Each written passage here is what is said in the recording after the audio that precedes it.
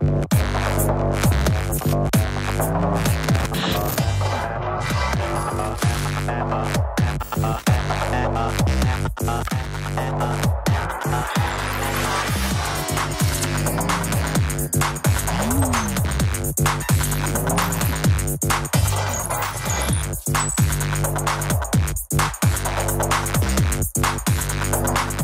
Hola, ¿qué tal? ¿Cómo se encuentran el día de hoy? Yo muy emocionado por estar nuevamente con ustedes aquí en una emisión más de este su espacio comunidad.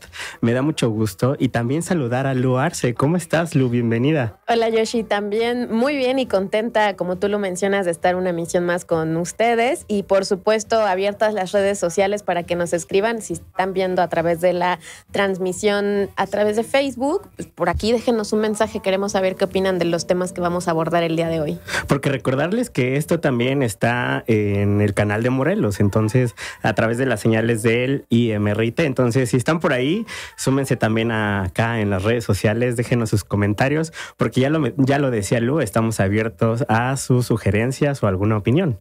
Así es, porque de esto se trata el espacio de dialogar y qué mejor que pues también ustedes nos compartan ese sentir y ese pensar que tienen.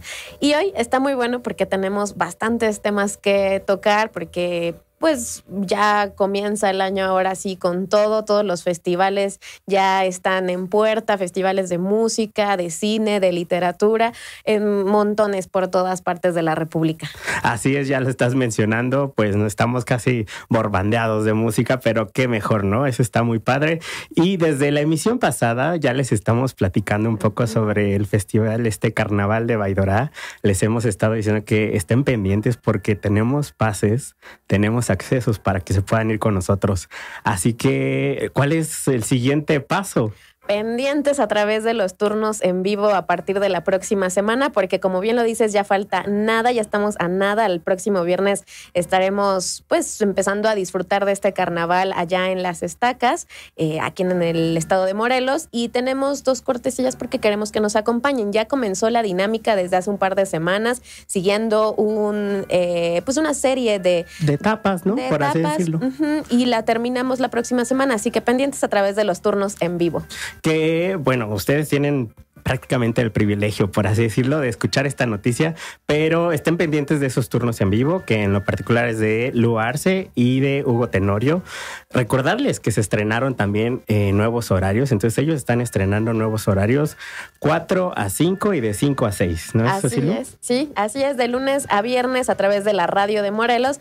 Por ahí estaremos compartiendo información. Tenemos además muchas entrevistas la próxima semana, así que pues yo les recomiendo que siga el 102.9. Porque ya aparte se empieza a sentir calorcito. Sí, ya vamos calentando motores para que nos vayamos a ese carnaval a disfrutar y ustedes también con nosotros. A ese lugar paradisiaco. Y pues bueno, a otro tema también que por supuesto que nos compete es el cine, Lu, y es algo que te encanta, el séptimo arte. Sí, y como lo decía ya una serie de acontecimientos que se están dando en toda la República y tal es el caso de la gira de documentales ambulante que ya tiene una, trayectoria importante eh, en el país y que arranca este próximo 21 de febrero hasta el 16 de mayo tendremos la oportunidad de tener esta gira en la República. Hay estados seleccionados que, bueno, tienden un diálogo con esta organización civil y, pues, bueno, podrán estar disfrutando las películas. Acá en Morelos llega una pequeña sección, pero quizá hasta noviembre a través de, la red de cineclubes. Ya les estaremos contando de qué se trata esa sección, pero bueno, un, festival de, documentales que ha puesto en, el, en la plática, en el diálogo de la ciudadanía una forma de recibir los contenidos audiovisuales, ¿no? Porque de pronto eh, quizá el cine de arte es un poco complejo de ver y el documental creo que un poquito más porque no estamos acostumbrados o nuestro ojo no está acostumbrado a, eh, percibir el cine documental y se los juro que no es nada aburrido. Nada. A mí en lo particular me encanta porque es conocer eh, historias de vida o alguna otra parte del lugar de esta tierra, de este globo terráqueo y esa parte me gusta, entender y conocer esas perspectivas, ¿no? Desde, desde la, también la mirada de que nos cuenta el documentalista. Así es, porque esa es una perspectiva muy eh, subjetiva, pero que nosotros a través de la información que nos comparten podríamos ir investigando más y crear nuestro propio criterio. Pues seguiremos pendientes. Entonces, dentro de esa misma sinergia que se generan los eventos, también hay aquí en Morelos una feria de libro que se está organizando que es la onceava Feria Nacional del Libro Infantil y Juvenil, por supuesto, aquí en Morelos. Así es, una serie de actividades que tienen que ver con la literatura, por supuesto, acercar el libro, el libro como objeto, pero también esta actividad de leer que nos da muchas herramientas de vida, ¿no? De comprensión, conocimiento y nos acercan hacia otros imaginarios. Entonces, bueno, ya se celebra la número 11 aquí en Morelos y además lo padre es que no va a suceder solamente en Cuernavaca, sino también va a tener sede en Jojutla Jutla y en Tepoztlán. Una oportunidad brillante, me parece. Aparte, es rescatable y de también traerlo a la mesa que hayan seleccionado Jojutla, un lugar que por supuesto sabemos el acontecer que ahí estuvo y que sucedió. Y pues bueno, qué importante hacerlo también a través de la lectura, hacer este rescate ¿no? de, nuestros lugares y qué mejor que con la lectura, el fomento a la lectura. Así es, así que del 14 al 18 de marzo preparen la agenda para que vayan con toda la familia porque es para todas y para todos. Yo he tenido la oportunidad de llevar a mis sobrinos y de verdad que la pasan muy bien porque hay talleres, hay charlas, hay eh, presentaciones de libros, tanto para las infancias como para las juventudes, entonces pues, no, no hay pretextos, es un evento totalmente familiar. Sí, ya lo mencionas, eh, fomentar un poquito la lectura a nuestros chicos, a nuestros pequeños y qué mejor con estos, estos eventos, ¿no? Así es, así que, pues bueno, pendientes de todos los participantes de esta emisión. Y qué bueno que empezamos también con esta práctica y estamos muy puestos en la cuestión de fomentar la lectura. Muy reciente, Lu, nos invitaron pues al estudio creativo de Pablo Peña, que además tuvimos la sorpresa también de estar con la escritora de Muriel. Así es, con Amaya Giner, que también estuvo compartiendo ahí un poco del proceso para la creación de este libro que mencionas, que recientemente ha estado presentando, y cómo se dio también el acompañamiento con la imagen, ¿no? O la ilustración que hace Pablo Peña como, como artista visual. Y nos fuimos del laboratorio radial para preguntarles, para que nos hablaran un poco de sus gustos, porque si algo mencionamos en esa charla es que los gustos construyen finalmente... Eh, pues nuestras actividades, ¿no? O nuestras formas de crear de esos alimentan. Estuvimos platicando de forma muy amena sobre qué consumen, qué pelis ven, qué música escuchan, cómo es que se crearon esos personajes y cómo dialoga, en este caso, la, la ilustración, la imagen con el texto. Así es, Lu. Entonces nosotros los vamos a dejar aquí con esta entrevista que tuvimos, esta charla con ellos. Y pues prácticamente síganle los pasos. Así es, no los dejen de seguir. Pronto les compartimos ahí en los siguientes bloques las redes sociales de estos chicos y un poco del trabajo que han hecho a lo largo de su trayectoria para que los busquen, los, los conozcan y por supuesto eh, pues compartan el talento morelense. Vamos a ir al corte, pero enseguida entramos con la entrevista. Así es.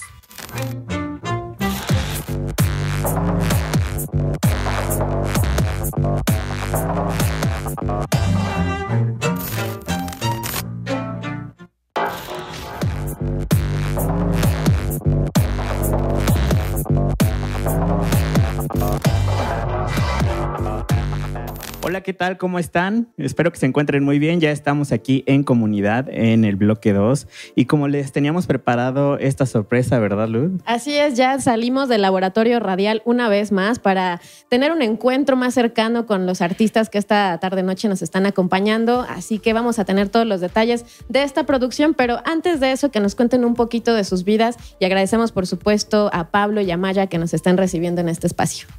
¿Cómo se encuentran el día de hoy? Hola, pues muy bien, contentos de que, de que vienen a visitarnos, ansiosos y nerviosos. Muy bien, ¿tú cómo estás? Muy bien, también, contenta. Y bueno, para iniciar esta charla, cuéntanos quién es Pablo, a qué se dedica, cuál es su fuente de inspiración. Ok, pues yo eh, de formación soy diseñador, eh, disciplina que ya, no, que ya no practico. Me dedico totalmente a la ilustración y al arte visual. Este, también muchos años me dediqué a la música, tuve algunas bandas por ahí y que me, ayudaron a desarrollar pues como ideas y tener vivencias, que de vivencias es de lo que se nutre nuestro, pues, nuestro trabajo, ¿no? Eh, me, gusta, me gustan mucho los cómics, las historias, las, este, las novelas gráficas. Me gusta también leer mucho. Eh, me gusta mucho la ficción, este, narrativa. Y del cine, pues también eh, veo mucho cine, de repente mucha basura, pero, pero pues hay que, hay que escarbarle, ¿no? Para encontrar joyitas, ¿no? Y pues lo, lo que a todos, ¿no? comer, beber, este, salir, viajar y así, ¿no? Disfrutar, ¿no? Por supuesto.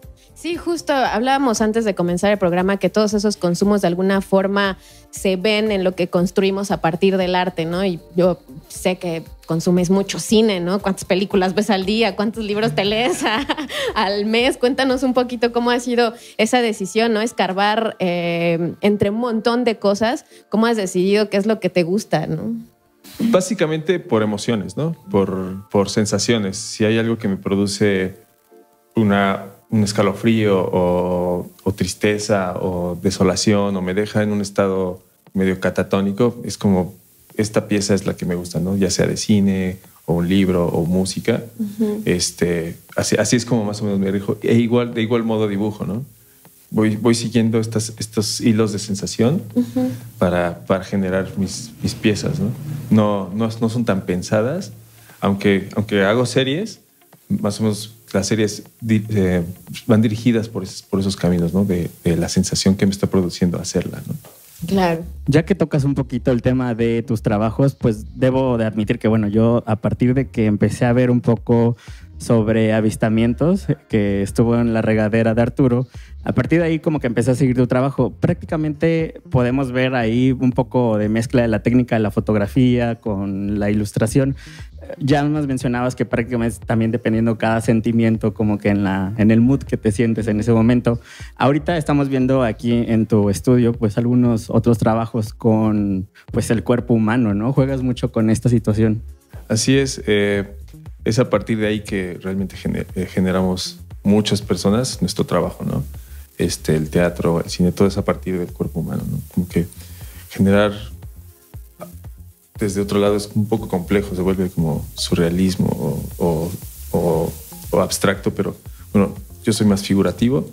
Eh, sí, me encanta, me encanta, no sé, lo que se genera con las formas del cuerpo, ¿no?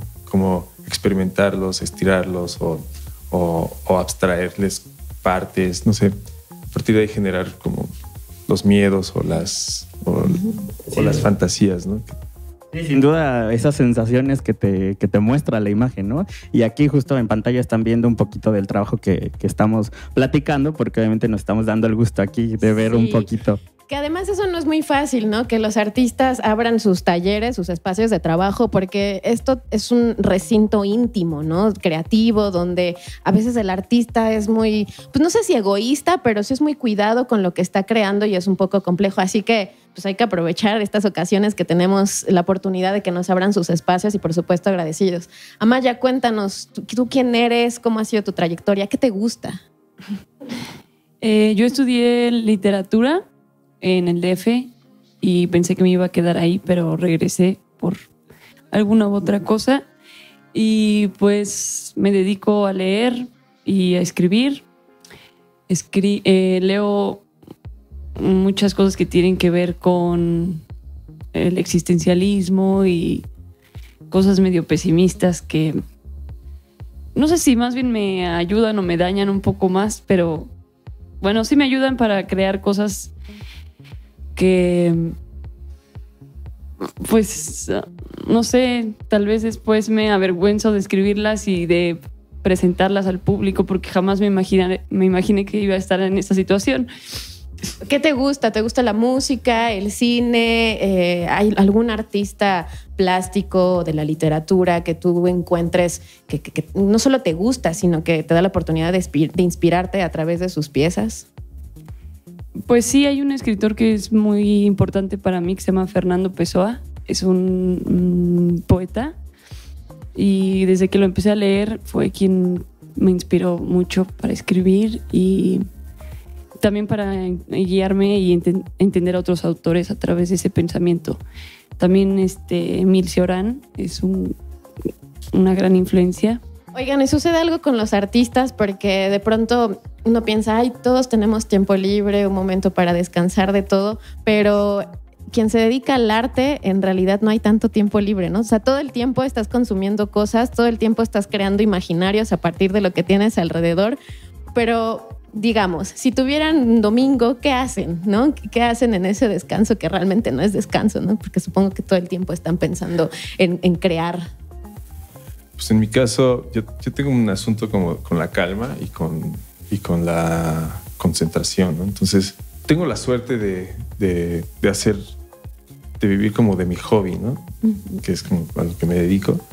Entonces realmente no hay como esta separación de tiempos libres o no o sea, un domingo, de repente, pues nada más estamos, puedes estar nada más echado ahí, pero hay un momento donde te paras y dibujas algo, o, se te ocurrió algo, o tocas algo, no sé. Siempre, siempre hay, o sea, no, no, hay, no hay descanso para las, cuando se te ocurren cosas, ¿no? Claro, sí. ¿Y tú cómo te gusta trabajar en total silencio o acompañada, escuchando música? ¿Cómo prefieres hacerlo? Pues depende. Normalmente escucho música, cuando escribo escucho música sin letra. Y tengo como una selección ahí. Y pues sí, como que ese proceso de escritura es un poco complicado. No, es lo, no puedo salir a cafeterías, por ejemplo. Siempre me estoy peleando con la gente de las cafeterías porque ponen música a todo volumen o realmente es muy complicado. También leer. Y entonces me gusta en mi casa y trabajo, sí, pues procuro concentrarme, pero luego es un poco difícil. Bueno, pues aquí un poco de los datos de estos artistas que nos están compartiendo, quiénes son, de dónde vienen y cómo es que eh, pues retratan sus historias a partir de disciplinas en específico. Regresando de estos mensajes, de este bloque que terminamos, vamos a hablar de esta pieza, de este libro que armaron entre los dos. Nos van a contar todos los detalles, así que quedes aquí en Radial 314.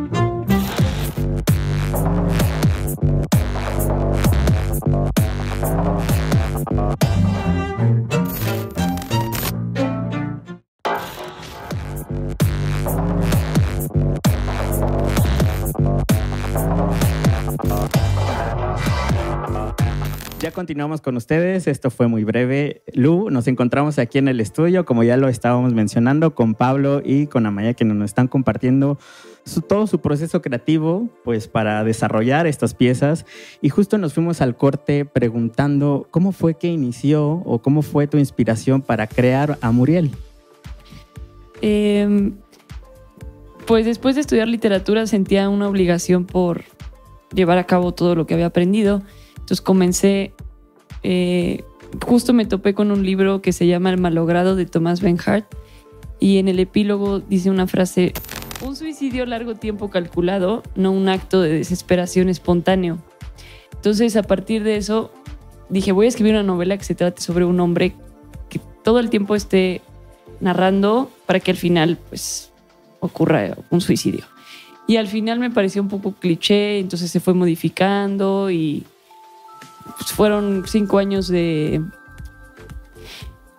de trabajo, pero fue, fue mutando y es muy padre también ver cómo muta la historia. Sí, mencionar que este libro se presentó a finales de este, del año pasado aquí en el Museo de la Ciudad. Entonces, justo platicamos también que está con el apoyo de ilustraciones tuyas, Pablo. Cuéntanos un poquito de ello. Primero, la sorpresa de leerlo.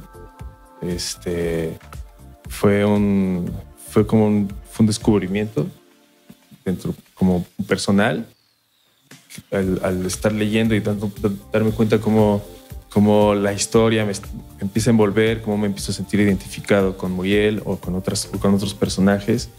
Eh, los detalles que maneja Maya, sus reflexiones, son como, como muy acertadas, como que vienen de una voz de alguien con mucha experiencia, como como si fuera alguien viejo ya y que está hablando de, de cosas muy sabias. Me fue, me fue gustando, me fue gustando y obviamente ahí empiezo yo a generar imágenes.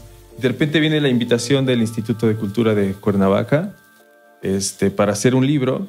Este, platicando, eh, se presenta la la oportunidad de que sea la novela de Amaya, les gusta y, y la verdad es que sí nos dieron muy poco tiempo para desarrollarlo porque ya iba de salida la administración este, y nos pusimos así en arduo trabajo, ¿no? hacer las últimas correcciones, yo a, a decir, ¿qué voy a hacer? Este, platica, platicamos a y yo sobre, sobre cómo se debe de ver Muriel, cómo se debe de ver Muriel, porque trabajar la, el rostro o el retrato de un personaje principal que está dentro de un libro es como, cada quien se imagina las, Claro. las caras, así, entonces es difícil darle un clavo así, ¿no?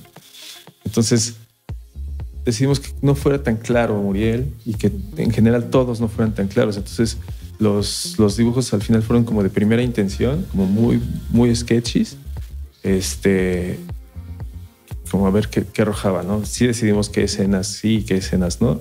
Y ya, Bueno, yo tengo dos dudas muy grandes. La primera es que siempre sucede en, en esta cuestión de, de la creación, ¿no? Cuando decides que una pieza está totalmente terminada, ¿no? Porque las piezas nunca están terminadas para los artistas, ¿no? Entonces, cuando decides desprenderte de las dos formas, tú del texto decides dejarlo ir, decir ya se acabó, y tú de las ilustraciones también, ¿no? Decir ya con, con esto, esto es suficiente. Y como tú le dices, que ahí va otra de las preguntas, cada uno finalmente tiene su forma de interpretación y de pronto lo que pasa o, o creo que hay la intención es que se lea de dos formas, ¿no? Que leas el texto y que leas las imágenes también, porque si no te sientes cómodo con las imágenes y tú quieres crear tus propios eh, universos o tus propias posibilidades, creo que hay esa posibilidad de quien lo lee. Claro, esa ventana siempre abierta a la subjetividad un poco, pero sí interesante cómo fue pues esta terminación, cómo decidieron, sabes que esto ya, eh, acabamos de pulirlo. Sí, como después de cinco años dijiste,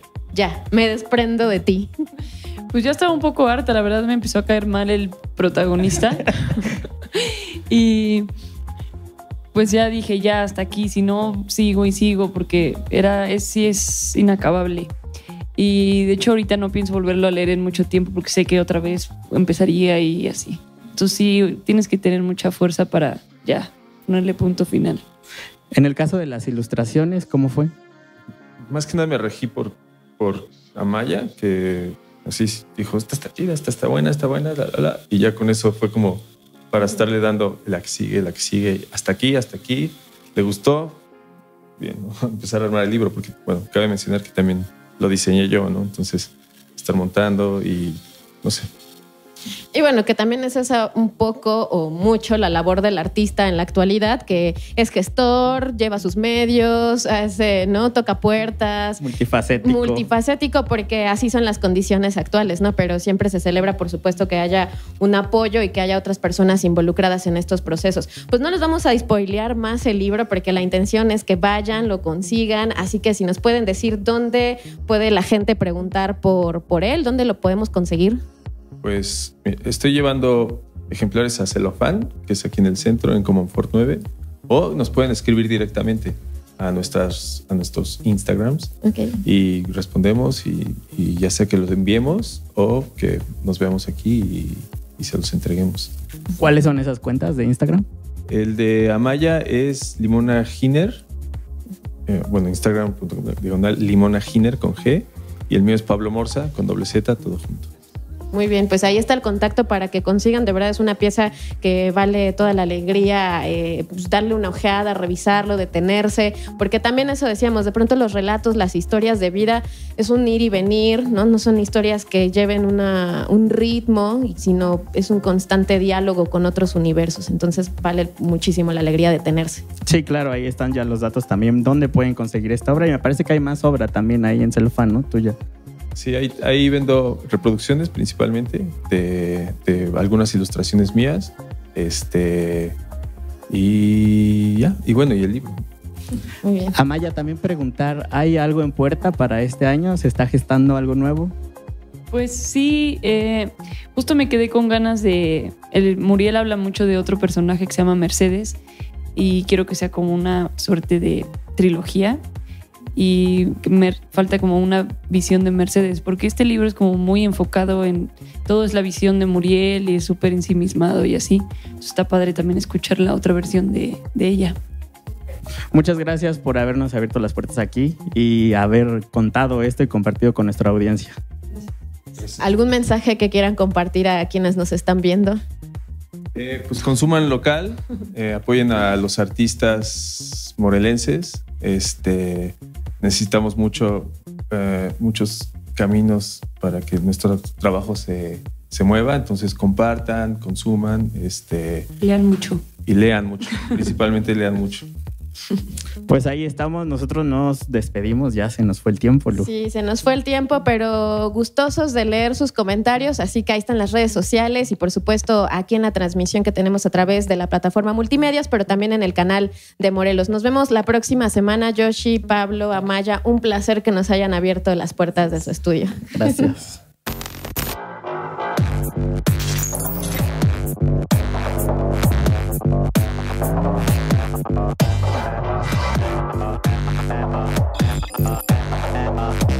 Uh.